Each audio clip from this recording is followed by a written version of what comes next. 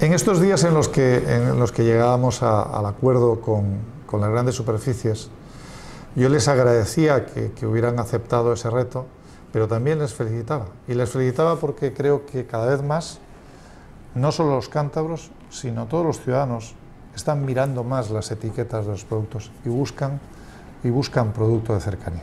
En Cantabria producimos prácticamente de todo. Hace poco Miguel Ángel decía... Eh, en broma dice, salvo aceite y plátanos, hacemos de todo. Bueno, pues hacemos efectivamente de todo. De altísima calidad, comparable con cualquier región del mundo. Todos los productos que se elaboran aquí, que se producen por grandísimos profesionales, tienen la máxima calidad y reconocida internacionalmente incluso con premios.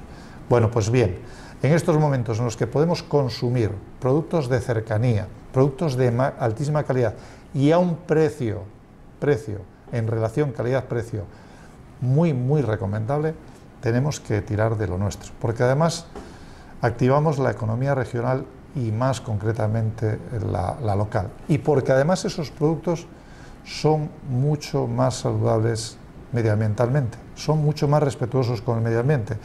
Solamente pongámonos en la cabeza que de donde se producen, de las tierras de Cantabria donde se producen, hasta el consumidor, el trayecto que hacen es cortísimo, con lo cual la trazabilidad se acorta mucho y es mucho más respetuoso con el medio ambiente. Así que consumamos alimentos de Cantabria, alimentos de aquí, porque nos tenemos que ayudar entre nosotros.